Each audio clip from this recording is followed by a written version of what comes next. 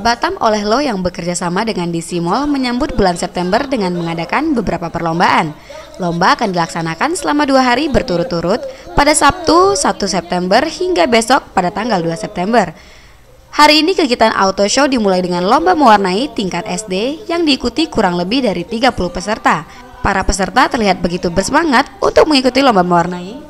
Dikarenakan pihak Batam oleh Lo memberikan hadiah yang cukup menarik kepada para juara lomba mewarnai. Uh, untuk rutinitas iya ini uh, ini menjadi bagian karena sebelum ini kita juga udah mengadakan lomba fashion show itu ada di Panbil Mall di Mall sendiri juga kita udah adakan dua kali jadi ini event keempat kita untuk perlombaan mewarnai dan fashion show Putri selaku marketing menjelaskan bahwa event kali ini adalah event keempat yang mereka laksanakan dalam tahun ini dengan tema September Ceria.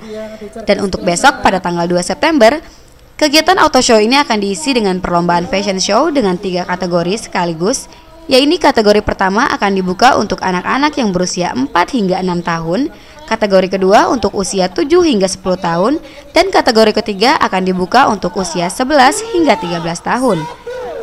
Tim Liputan Diamond TV melaporkan dari Batam, Kepulauan Riau.